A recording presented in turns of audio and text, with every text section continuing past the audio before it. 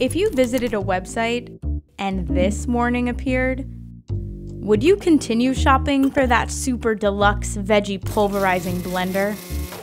Probably not. And you wouldn't be the only one. 82% of your peers would also hit the close button. Consumers are demanding more protection from brands due to recent high profile hacks and data breaches. But how do you protect your customers and gain their trust?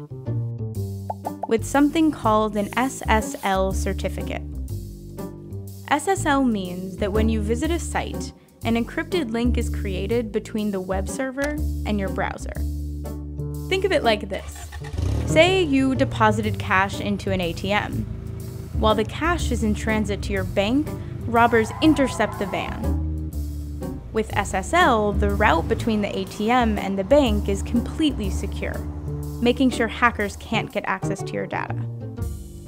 In the past, you only needed SSL if your business accepted credit cards or other sensitive details.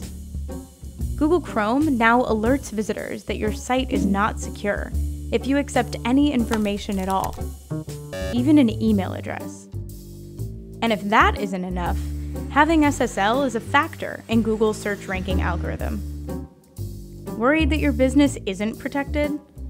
Check to see if your site's URL begins with HTTP or HTTPS. The S means you're secure. And it's simple to add SSL to your site. You can purchase various types of certificates via your domain provider or a company like Let's Encrypt. At HubSpot, we think security shouldn't be a luxury. It's good for customers and good for growth. That's why a standard SSL certificate is free for all Marketing Hub customers.